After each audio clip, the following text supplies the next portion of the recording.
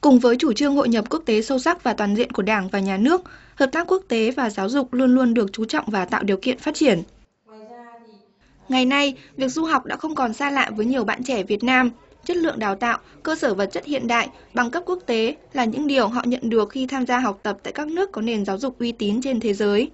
Nhưng vẫn còn đó nỗi lo của những bậc phụ huynh. Hiện nay tôi chỉ lo lắng nhất cho cháu về vấn đề cho khi cháu học ở nước ngoài, đấy là cái tâm lý và cái khả năng thích ứng của cháu đối với cái, ở cái môi trường mới. Hiện nay các cháu là đang sống ở Việt Nam thì các cháu là luôn luôn là có cái cái, một cái suy nghĩ là luôn luôn được cái sự bao che của gia đình. Nhưng khi ra nước ngoài thì các cháu nó sẽ phải sống tự lập hoàn toàn. Thì tôi đang lo lắng nhất là những cái đấy. Còn các bạn học sinh sẽ nghĩ gì nếu có thể học một chương trình giáo dục quốc tế ngay tại Việt Nam? Trước hết thì đi du học là ước mơ của rất nhiều người, không phải riêng em. Nếu có một chương trình đào tạo ở, ở của nước ngoài ngay tại Việt Nam thì à, em nghĩ đấy là một điều kiện rất tốt cho các bậc phụ huynh và um, bọn em nữa. Vì um, thứ nhất là nó sẽ có chi phí rẻ hơn rất nhiều. À, tiếp theo là bố mẹ sẽ đỡ lo lắng hơn. Vì khi ra vào môi trường ở nước ngoài thì có nhiều cái mình chưa thể làm quen ngay được. Ờ, và cũng với một trình độ đào tạo như thế mà có mình có thể ờ, học tại Việt Nam để lấy bằng nước ngoài đấy là một điều quá tuyệt vời Hiện nay, một số trường đại học đã liên kết với các đơn vị đào tạo ở nước ngoài nhằm thực hiện các chương trình đào tạo quốc tế có chất lượng cao, đáp ứng nhu cầu phát triển của đất nước. Là một đơn vị đi tiên phong trong việc mở rộng hình thức du học tại chỗ cho sinh viên Việt Nam, khoa quốc tế thuộc Đại học Quốc gia Hà Nội đã có những chương trình đào tạo đại học quốc tế theo hai mô hình, đào tạo toàn phần tại Việt Nam và chương trình bán phần, một nửa thời gian theo học tại các trường đối tác nước ngoài. Bộ trưởng Bộ Giáo dục và Đào tạo, Phó Thủ tướng Nguyễn Thiện Nhân nói là Việt Nam giải thảm, giải chiếu hoa, mời các trường, các đại học nước ngoài vào liên kết đào tạo với Việt Nam. Về mặt chính sách, chính phủ hoàn toàn ủng hộ liên kết đào tạo quốc tế tại Việt Nam. Ờ, khoa quốc tế trực thuộc Đại học Quốc gia Hà Nội ờ, hợp tác với các cái trường đại học nước ngoài trên hai lĩnh vực chính. Thứ nhất là các chương trình đào tạo đại học và sau đại học và nghiên cứu khoa học triển khai công nghệ. Du học tại chỗ có ưu điểm rất rõ là thực hiện chương trình của nước ngoài, theo chuẩn của nước ngoài nhưng mà cái kinh phí, cái chi phí phải bỏ ra thì thấp hơn nước ngoài rất nhiều. Nhiều gia đình lựa chọn giải pháp đưa con em mình đến một trường quốc gia phát triển có hệ thống giáo dục uy tín để học tập. Tuy nhiên hiện nay, hình thức du học tại chỗ ở Việt Nam ngày càng thu hút được sự chú ý của học sinh và phụ huynh bởi chất lượng đào tạo và môi trường học tập quốc tế ngay tại Việt Nam. Ờ, em bước vào trường từ năm 2006 và khi bước vào trường thì em có được ờ, thi kiểm tra đầu vào tiếng Anh để ờ, phân phân để phân lớp theo trình độ tiếng Anh của em. Và mô hình học tập ở trường rất là linh hoạt mọi người có thể uh, uh, chọn uh, ngành tùy theo từng ý thích và và có thể họ chọn chương trình học ừ, bán phần hoặc có thể học toàn phần ở Việt Nam nhưng nhưng vẫn được lấy bằng của nước ngoài. Các thầy đến cô đều đi du học ở nước ngoài về tiếng Anh cũng rất là chuẩn và Vâng, ờ, giáo án của bọn em thì đều được uh, của bên nước ngoài cấp và tất cả các môn của em đều được học bằng tiếng Anh và thi bằng tiếng Anh hết rất là uh, thuận lợi cho việc học và việc sau này đi làm của chúng em. Để thông tin về du học tại chỗ gần hơn với những bạn trẻ, khoa quốc tế thuộc Đại học Quốc gia Hà Nội thường xuyên tổ chức các hội thảo tuyển sinh. Tại đây có sự góp mặt của đại diện các trường đại học hợp tác đào tạo với trường Đại học Quốc gia Hà Nội. Tại hội thảo mới được tổ chức gần đây, có sự góp mặt của nguyên hiệu trưởng Đại học Năng Cộng hòa Pháp. Khi được hỏi về xu thế hợp tác giáo dục quốc tế hiện nay, ông cho biết. Như tất cả các trường đại học, muốn trở thành một trường đại học hiện đại thì nhất thiết phải phát triển theo hướng toàn cầu hóa.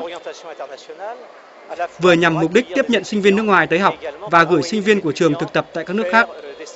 Khi tôi còn là hiệu trưởng Đại học Năng, nhiệm kỳ 2002-2007, tôi đã xây dựng chính sách bắt buộc các sinh viên theo học từ bậc thạc sĩ tại Năng phải thực tập ít nhất 6 tháng ở nước ngoài. Điều đó là hoàn toàn cần thiết. Cần thiết trước tiên là đối với sự phát triển của bản thân sinh viên. Tiếp đó là sự cần thiết cho sự phát triển của trường trong việc trao đổi sinh viên tại Pháp và ra nước ngoài. Có thể nói đó là xu hướng tất yếu. Chúng tôi có quan hệ hợp tác với nhiều trường, trong đó có các trường đại học Việt Nam. Con người là yếu tố quyết định cho mọi thành công. Để có được chất lượng đào tạo tốt, đáp ứng yêu cầu về chất lượng từ phía đối tác và sự mong mỏi của sinh viên, đội ngũ giảng viên và các cán bộ chuyên môn của khoa quốc tế thuộc Đại học Quốc gia Hà Nội được tuyển chọn rất kỹ lưỡng. Nhận thức được tầm quan trọng của công tác này, giáo sư tiến sĩ Nguyễn Trọng Do cho biết thêm. Các giảng viên nước ngoài sang đây làm việc đều phải đạt chuẩn. Ví dụ như ở Pháp sang 100% từ trình độ tiến sĩ trở lên. Và cũng phải nói rằng các trường đối tác họ cũng muốn cử những cái giảng viên tốt của họ sang đây để họ xây dựng chương trình có thương hiệu, có uy tín.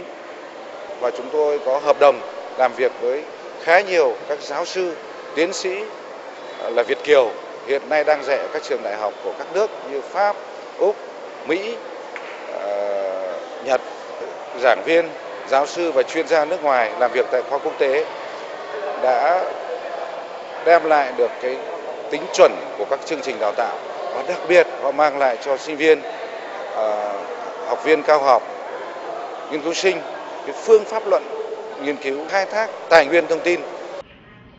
Học chương trình của các nước phát triển ngay tại Việt Nam không chỉ tiết kiệm được nhiều chi phí so với đi du học nước ngoài mà về chất lượng bằng cấp lại tương đương. Chính vì lẽ đó mà du học tại chỗ đang dần trở thành một xu thế mới và sự lựa chọn thông minh cho các bạn trẻ. Uh, Người dân Việt Nam luôn ưu tiên đầu tư cho việc học tập của con em mình. Những năm gần đây, việc cha mẹ gửi con cái đi du học nước ngoài, đặc biệt là ở Úc, đã trở nên rất phổ biến. Đại học quốc tế IMIT Việt Nam là đại học 100% vốn nước ngoài đầu tiên tại Việt Nam. Chúng tôi tin tưởng rằng mô hình đào tạo mà IMIT Việt Nam đang áp dụng rất hiệu quả và tiến bộ, mang lại cơ hội thụ hưởng nền giáo dục đẳng cấp quốc tế ngay tại Việt Nam. Ưu điểm đầu tiên của việc học tập tại IMIT Việt Nam được nhìn từ khía cạnh gia đình. Các bạn sinh viên sẽ không phải xa Việt Nam và gia đình mới có thể trang bị cho mình bằng cấp quốc tế. Điều đó đồng nghĩa với việc gia đình các bạn sẽ cảm thấy yên tâm hơn. Trong môi trường kinh doanh toàn cầu ngày nay, nhà tuyển dụng luôn mong muốn sinh viên vừa tốt nghiệp có khả năng làm việc ngay lập tức trong môi trường quốc tế. IMIT Việt Nam đã nhận thức được điều đó và thiết kế cho sinh viên một chương trình thực tập nhằm giúp các em tích lũy kinh nghiệm làm việc thực tế. Chính từ những đợt thực tập này, nhiều sinh viên đã tìm cho mình được những công việc tốt tại nhiều công ty lớn. Một sinh viên đã tốt nghiệp tâm sự.